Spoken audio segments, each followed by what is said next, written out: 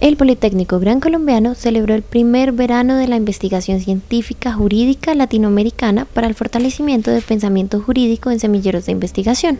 Bueno, estas son las jornadas jurídicas latinoamericanas que venimos realizando periódicamente. Se hace una jornada al año. Eh, en esta ocasión la sede es el Politécnico Gran Colombiano.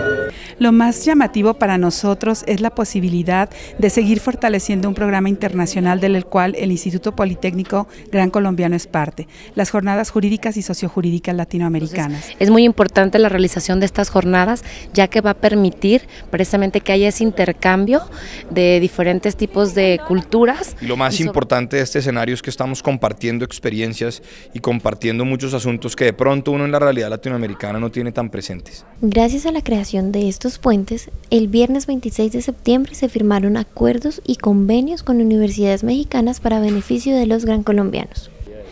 A partir de un estudio real que, eh, que acerque la doctrina con las circunstancias que vivimos de manera cotidiana. Tenemos que atender eh, los fenómenos sociojurídicos que vivimos cotidianamente y no solamente quedarnos en la teoría. Bueno, en estas jornadas precisamente se están viendo diferentes aspectos, tanto políticos, sociológicos, incluso antropológicos, ya que nos hemos dado cuenta que precisamente la generación y eh, del conocimiento tiene que ser a partir de un análisis de diferentes disciplinas. Debo resaltar que en esta ocasión nos acompañan dirigentes del Poder Judicial y del Poder Político, autoridades mexicanas con los cuales vamos a consolidar acuerdos y convenios igualmente. Los líderes académicos de Jalisco y Guadalajara recibirán una certificación de participación en el curso de participación política y derecho parlamentario para líderes políticos y académicos en Jalisco, México, que se dictaron en el Poli.